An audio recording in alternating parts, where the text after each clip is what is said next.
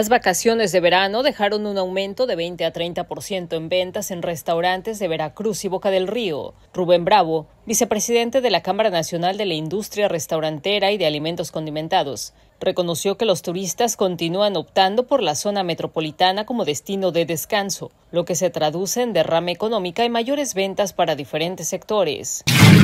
Sí un incremento, un 20-30% aproximadamente, eh, sí lo sentimos en algunos lugares, digo, al final de cuentas son las zonas, en las zonas turísticas fue donde más o menos se sintió el 20-30%, pero todo viene, ¿eh? definitivamente, no se tiene una expectativa tan baja, pero bueno, llegamos a un 20-30% aproximadamente.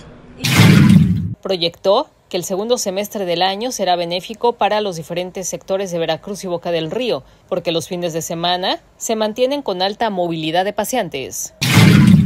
Un poco de turista nacional definitivamente sí nos está llegando, pero la gente del puerto sigue saliendo a disfrutar, ahora sí los viernes, los sábados, los domingos en familia.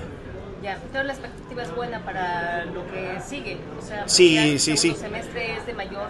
Definitivamente sí, ya ahorita es de aquí para arriba, es lo que estamos esperando ahora sí los incrementos y al final de cuentas vienen septiembre, vienen muy, muy buena época para nosotros, lo que es noviembre, diciembre, la época de Día de Muertos, que son festividades que siempre están presentes en la familia mexicana. Y... Recordó que se avecinan fechas importantes que permitirán seguir reactivando la economía. Boga Reyes en la Cámara para Imagen del Golfo, Laura Morales.